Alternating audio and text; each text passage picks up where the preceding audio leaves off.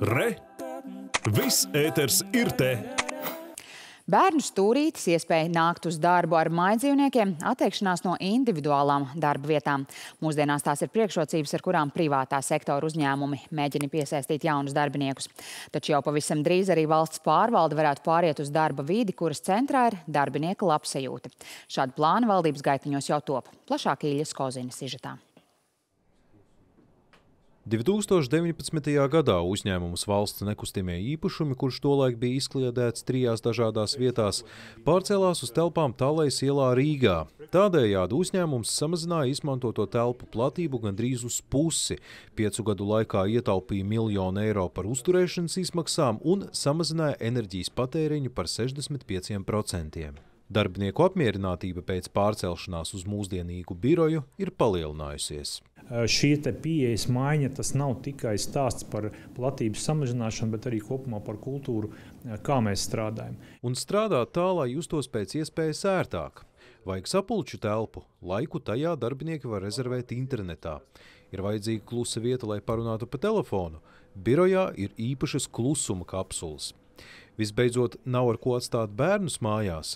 Darbā ir ierīkots bērnu stūrītis. Klasiskajā birojā katram darbiniekam būtu sava individuāla darba vieta, taču šeit tiek ieviesta kopstrādes pieeja.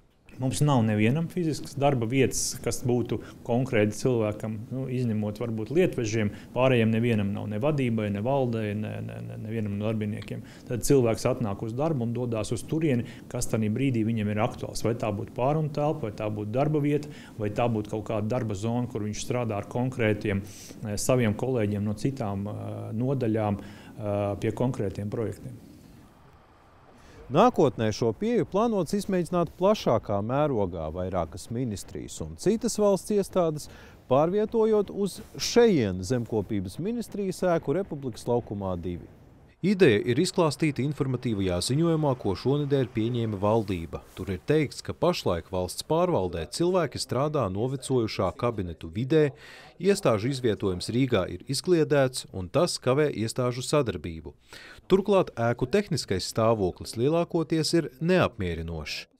Te noteikti var uh, redzēt, ka glābjot situāciju ir mainīti logi, protams, bet nemainot un nesiltinot ārpusi, nemainot uh, hidroizolācijas un visus ārējos elementus šeit pūš vējš, tad, kad ir stipri lieti, vai arī tieši no šīs puses, tad attiecīgi arī ūdens šeit var tecēt augšā caur visām izolācijas šķirmām, kas tur ir. Taču, lai pielāgotu ēku mūsdienīgas darba vidas prasībām, ir vajadzīgi lieli ieguldījumi. Apkurss sistēma nedara tikai vienā stāvā nomainīt, uzlabojot apstākļus. Ja veic investīcijas, noteikti jāskatās ir visu komunikācijas izbūvi atjaunošanu, jo mēs nekad nevaram zināt, ka viņš kādā šahtā, kas atrodas starpstāvos vai kaut kur, kur nav veikts šīs izmaiņas, ka kāda no trubām neplīsīs tīri savu vecumu dēļ. Taču līdz finansējuma piešķiršanai un reālu darbu sākumam ir vēl tāls ceļš. Gada laikā būtu jānonāk pie secinājuma pirmām kārtām kāds būs turpmākas valsts pārvaldes šīs darba modelis,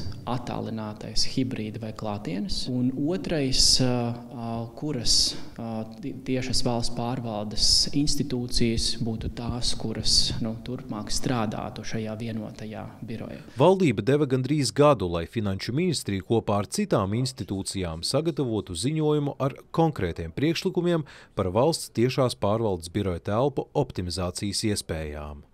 Ilija Kozins, Ivor Žepitskis, Ainis Kupčs, Latvijas televīzija.